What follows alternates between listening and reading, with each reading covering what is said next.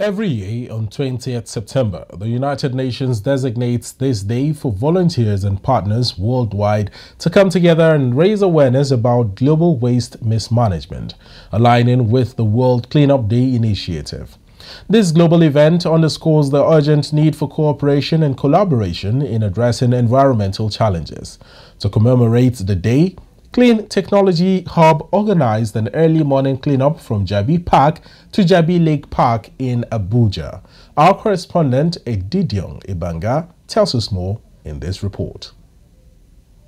Statistics have it that the country generates over 20 million tons of waste each year, made up of about 2.5 million tons of plastic waste, often mismanaged, posing a severe threat to the environment.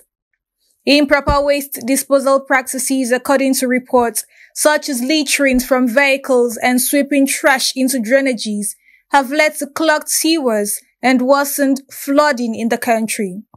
Days identical to World Cleanup Day are crucial in raising awareness about the importance of responsible waste management and encouraging individuals to take action no matter their circumstances. Speaking after the cleanup exercise, Swedish ambassador to Nigeria, Ambassador Annika Englund, highlighting the significance of today.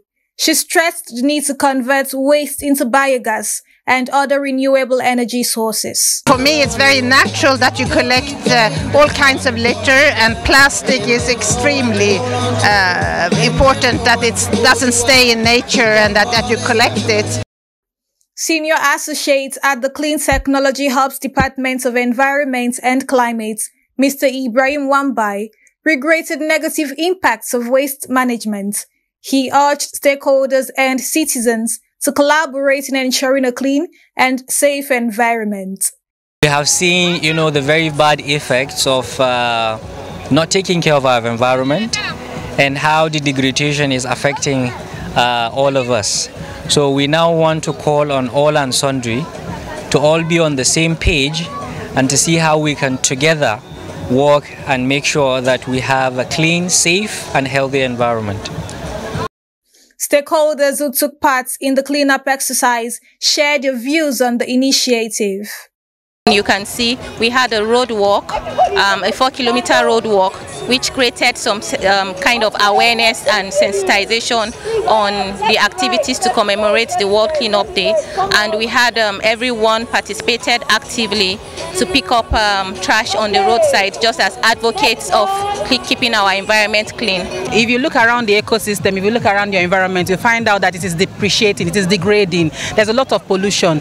The way you define pollution is the contamination of the environment, making it filthy and destroying its purity. So for the ecosystem to come come back to a balance, everyone has to join hands. That is why the theme is make room for life. The cleanup event serves as a reminder of the shared responsibility to preserve a clean and healthy environment while also promoting sustainable waste and resource management practices.